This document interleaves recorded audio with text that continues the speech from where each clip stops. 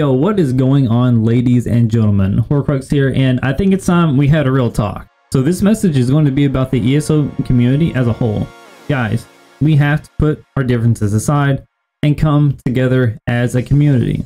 So everyone and their mother has seen the video about me. It is what it is. I apologize for what I did, but what you don't know is my side to the story. In this video, we're not going to cover my side to a story. I'm going to tell you what happened and how one simple misclick can lead to a complete deformation and dismantling of his channel. So if you guys are watching this video and you would like to interview me, I know Kuro has already asked me for an interview. I would really love to reach out to Ness so he can get my side of the story, but this video is not going to be about me covering my ass or backpedaling or trying to explain what I did, what I did, because there's no point in it. When I post that video, it's going to lose no matter what, because there's so many haters right now that it's just going to get buried and it's going to be negative and nothing good will come of it. It's just going to add fuel to the fire and prove to the dev team, the ESO community, that the PvP community is super toxic and so why should you do anything for us? And that's the point I want to make in this video here is that there's no such thing as a PvP community and a PvE community. We all should be looked at as a whole. We're all in this together, guys. Literally everyone, even the dev team. And I know in the past, I have given the dev team a really, really hard time. I personally attacked Rich Lambert, which is really terrible on my part. But let me tell you guys something.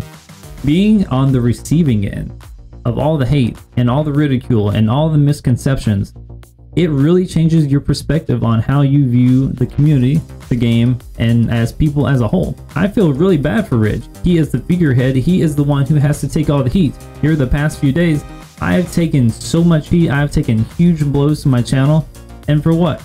Nothing. The dev team has done an amazing job of keeping this game up, adding new content for everyone. Yes, it's not the content you may or may not want, but it's content nonetheless.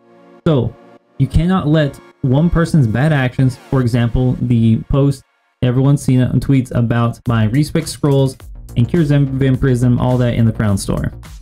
You cannot let one single mistake ruin the entire image of a company and all the good that they have done. Look at me and my channel, for example. I've done a lot of good. I've helped out a lot of people. I'm always helpful in Discord. I never really have a bad thing to say about anyone, unless it's just some playful banter, some competitive banter. And I want my channel to be a prime example of this. Always strive to do better. Better yourself. Better your community. So my message to you guys is give the ESO dev team, give the ESO community, the PvP community, a PvE community, lighten up. This is a game at the end of the day in which we all should enjoy. We play the Elder Scrolls Online to get away from our everyday life. You should not bring real world issues into ESO. This is an escapism. This is how you get away from reality. This is how cope. I myself, when I grew up, I had nothing besides video games or drugs.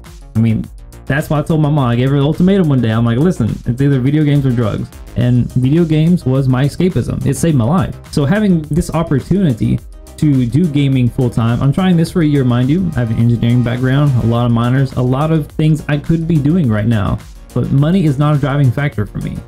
Me building a community is my driving factor. Having a legacy to pass on maybe to my kids or even my little brother who's up and coming by the way. He he's good, man. He's good. He's good. But uh, when he gets 13, just wait. But enough about that. So for everyone who thinks that content creators are just in it for the money, let me tell you something right now, guys. You're not gonna make a lot of money from ESO. This is a passion project at the end of the day, okay? So the next time you hear some negative comments about the dev team or what is said on the forums or what is said on anyone else's channel, guys, please take that information with a grain of salt. You never know the true story of what's going on. And again, I will reiterate what I said at the beginning of the video.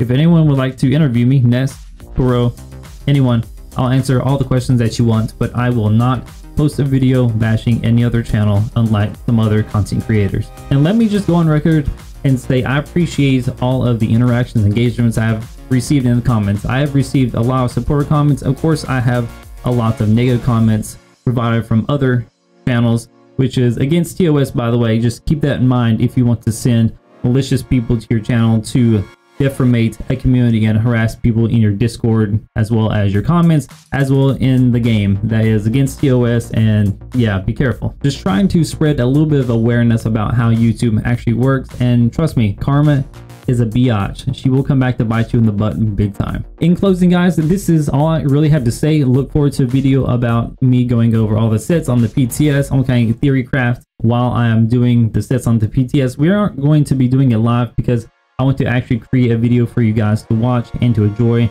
and to make sure I don't miss any details. I have a bad habit of when I do things on stream, I don't really think about what I'm saying. There's a lot of uh and um and stuttering and just a lot of time wasted and you don't really get the information that you guys are looking for. And that's all I really had to say in this video guys. Um, a huge shout out to my patrons and also my community members. You guys have been the best support I've ever had. You guys are like family to me. I really appreciate each and every single one of you. And guys, before you go, please tell someone you love them. This has been Hoarcrux. I'll catch you guys in the next one. Peace.